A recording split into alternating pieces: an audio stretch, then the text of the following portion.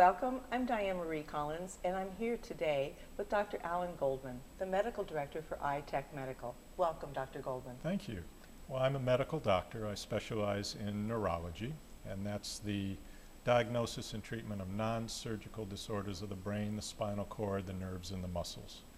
I did my neurological residency at UCLA. I stayed on staff there as a professor and then also went into private practice.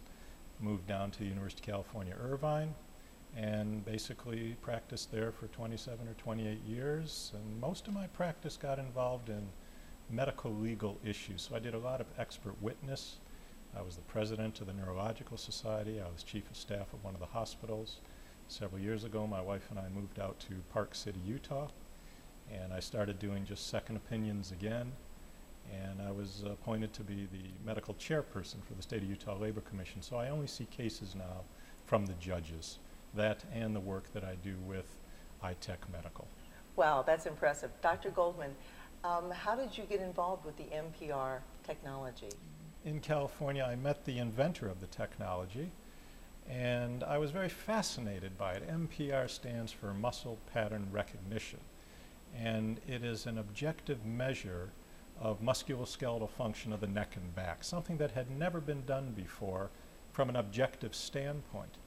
So I thought I wanted to see just what this thing was, and I started doing studies on it uh, with using the technology, and as time went by, uh, it evolved into my becoming the medical director, as we mentioned, of uh, iTech Medical. And I still am just fascinated every day by the technology. As a physician, how did you incorporate the MPR system into your treatment with your patients? Well, as I mentioned, the, the technology shows from a truly objective standpoint the musculoskeletal function, strains and sprains, if you will, of the neck and back. And that had never, as I mentioned, been seen before. So we needed an objective measure when someone would come in with back pain, and the most common cause for that back pain is musculoskeletal strains and sprains. MRI doesn't show it, CAT scans, x-rays. This is the only technology that really showed it. With all the cases I was seeing, I needed to know is that what they have or not because that's going to direct the treatment. If someone has a ruptured disc, you're going to treat them differently than if they have a strain or sprain. So in my practice, I started using the technology after I had examined an individual and felt that they had a strain or sprain dysfunction. I knew I didn't need an MRI, I didn't need a CAT scan. I got an MPR, and depended upon what that showed, if it was negative, then I'd had to rethink it as a doctor. What could this be? If it was positive, then at least I had now a roadmap as to either are we going to do rehabilitation to strengthen that abnormality, or are we going to do rehabilitation to reduce perhaps a spasm or some other type of muscle dysfunction? It was extremely helpful and opened up a lot of new doors in examining and in treating individuals. Um, briefly, tell me how the system works. Well, we put 14 sensors over 14 muscles in the neck and the back going all the way down the spine. Okay. We take the individual through nine very simple movements.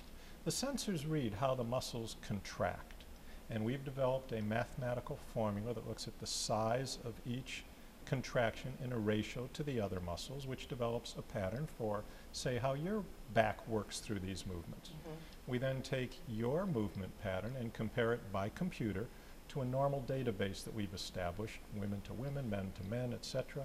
And either you're normal or you're not. And if you're not normal, as I mentioned, we can tell where the abnormality is. We can tell what it is. Is it a weakness, not enough contraction? Is it too much contraction, like a spasm?